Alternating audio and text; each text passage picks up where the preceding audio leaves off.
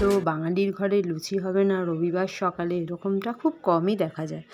তো নমস্কার বন্ধুরা, আজকে এই সকাল থেকেই আমার ব্লগটা শুরু করে দিয়েছি, আর তোমরা সবাই কেমন আছো? আশা করছি তোমরা সবাই ভালো আছো। আর রবিবার সকাল মানেই লুচি আর আলুর তরকারি।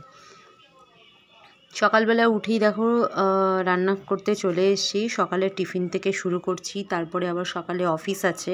আজকে যেহেতু রবিবার, হাফ ছুটি তো চলো সকলে এই ব্যস্ততার মধ্যে লুচি তরকারিটা করে নিয়েই মোটামুটি কাজ সারবো। আর তোমাদেরকেও শেয়ার করলাম আজকে সকালটা। তারপরে চলো আমি অফিসে বেরিয়ে যাই, তারপরে গিয়ে কথা বলছি। তো দেখো, এসেই আমার মনটা খারাপ। কেন জানো তো? লুচি আর তরকারিটা করলাম, কিন্তু খাওয়ার মতো কেউ নেই। মেয়েও ঘুমোচ্ছে, তোমাদের দাদাও ঘুমোচ্ছে। তারপরে বেরিয়ে পড়লাম, ছুটি হয়ে গেছে। আড্ডা মারতে মারতে তারপরে যাব বাজারে। কালকের ব্লগে দেখতে পাবে। তো একটু আপেল নিয়ে নেব, মেয়েটার জন্য। খেতে চায় না, জানো তো?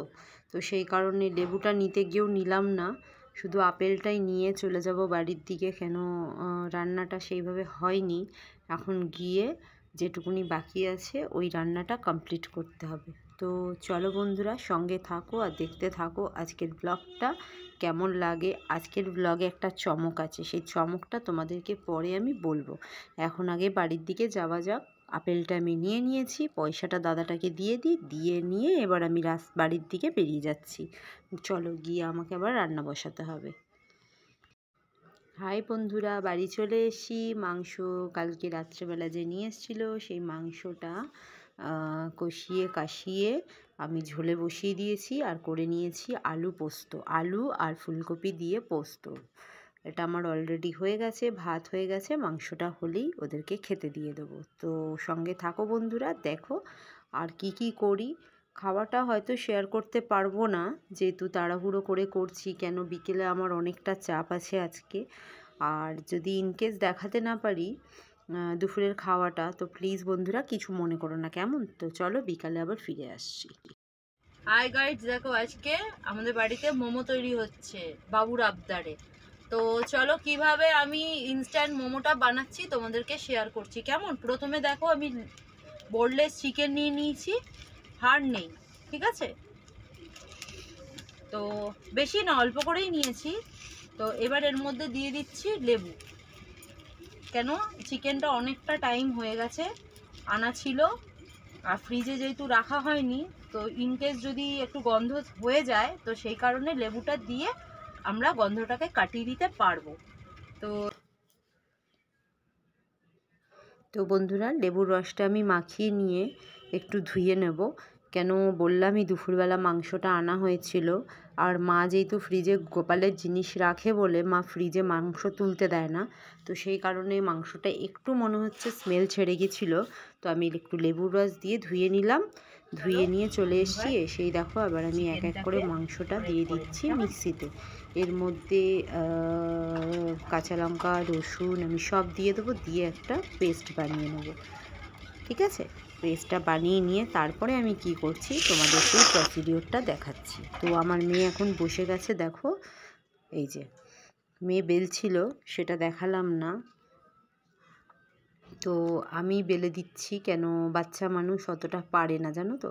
তো চলো, আমি এখন রুটির ডোটাকে এই লুচির মতো করে বেলে নিই। তারপরে দেখো আমি কি করছি, সেটা তোমাদেরকে শেয়ার করব, কেমন?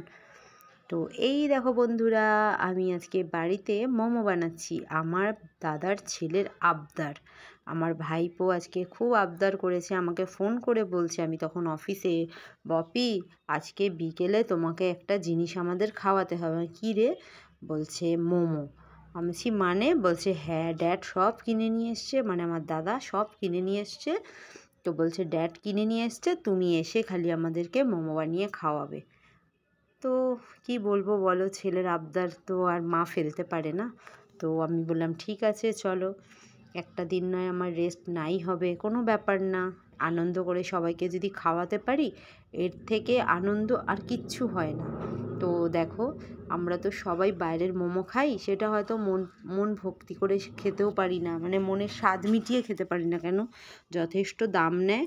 আর সেইভাবে স্টাফিংও থাকে না। তো বাড়িতে বানালে কি হয় জানো তো? একটু স্টাফিংয়ে ভরা থাকে আর সাইজটাও একটু ভালোভাবে করা যায়। তো এখানে আমার টোটাল ষাট পিস মোমো আছে। অনেকটা সময় ধরে ধরেই করেছি। তো যাই হোক, তো যাই হোক বন্ধুরা, ষাট পিস মোমো, এই যে আমার মেয়েও একটু বেলে দিচ্ছে। তো চলো এই, এটা হয়ে গেলেই আমার মোমোটা অল ডান তো সবাই মিলে খেয়ে তারপরে বলব কেমন হয়েছে, কেমন? কাল সকালে আমার মেয়ের আবার প্রথম পরীক্ষা। তার জন্য আমাকে তড়িঘড়ি বাড়ির দিকেও ছুটতে হবে। তো চলো, পরের যে আবার স্টেজটা আছে, সেই স্টেজে আবার আমাকে ভাপে বসাতে হবে। বসিয়ে নিয়ে তারপরে আমার অল কমপ্লিট হয়ে যাবে ষাট পিস তো আমার দাদার ছেলে তো ভীষণ খুশি। একটাই কথা বলছে, আমি অনেক দিন পর আজকে মোমো খাব, কিন্তু মন ভরে। তো চলে বন্ধুরা সঙ্গে থাকো আর দেখতে থাকো কতটা কি দেখাতে পারি কেমন? আজকে আমার মেয়ের প্রথম পরীক্ষা। তো প্রথম পরীক্ষায় দিয়েছে ম্যাথ তো মেয়ের একটু টেনশান হচ্ছে আর মেয়ের থেকে বেশি তো মায়ের টেনশান হচ্ছে যাই হোক। কি করা যাবে তবে আমার মেয়ে কি বলছে শোনো। তো আমার মানে ঘাম ঝরছে ও বলছে কোনো টেনশন করতে হবেই না। চলো দেখি। তো বন্ধুরা, স্কুলের সামনে চলে এসেছি। এখানে আর বেশি কথা বলা যাবে না। এই যে সামনেই মা শীতলার মন্দির, মেয়েকে বললাম একটু নম করে নে। তো যাই হোক, স্কুলের সামনে চলে এসেছি। ওর বন্ধুরাও দেখো রয়েছে।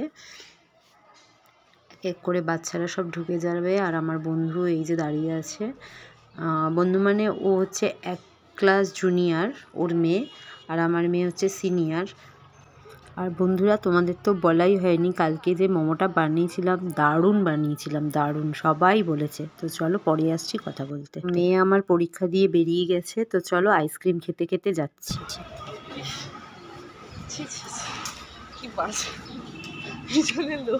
আল্লাহ ভালো পরীক্ষা দিয়েছে ওই জন্য আইসক্রিম কিনে দিয়েছি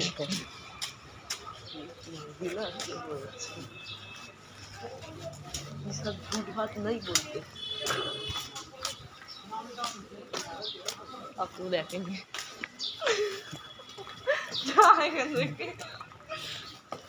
আমি আবার বলছি কেউ দেখেনি।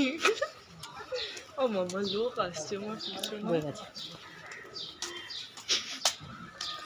তো ঠিক আছে বন্ধুরা, ব্লগটা এখানেই শেষ করছি। আবার আসছি নতুন একটা ব্লগে।